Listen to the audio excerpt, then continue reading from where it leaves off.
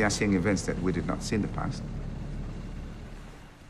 It's not about when the entire islands are underwater.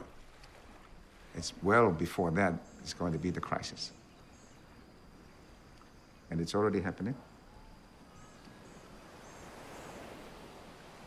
What we are facing at the moment is severe flooding. It's gone into the freshwater ponds, and that's how people get their drinking water. Have you spoken to people in the scientific community that have given you some sort of a time frame? Given the scenarios and the projections put forward by the science, our islands will be underwater.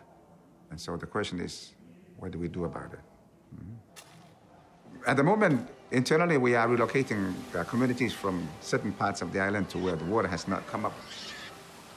But our long-term strategy is something that I've been discussing internationally because we, we have to come to accept the reality that we may not be able to accommodate all of our people.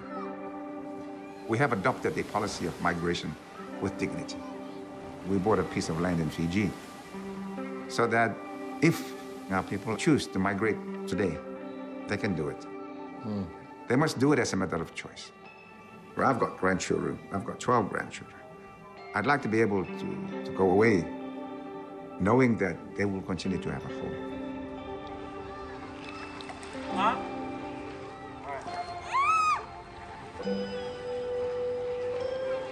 Islands in the Pacific, we're paradise in peril. Throughout Palau, we have sea level rise coming into the farmlands, coming into the homes. This is unbelievable. When was this an intact island with homes on it? How long ago? 12 years ago, when you came, there were people living here. So within the 12-year period, this is the result. It's just a small picture of one place. The small island nations who contribute the least to the causes of climate change are actually going to feel the worst uh, impacts, the worst uh, scenarios because of global warming.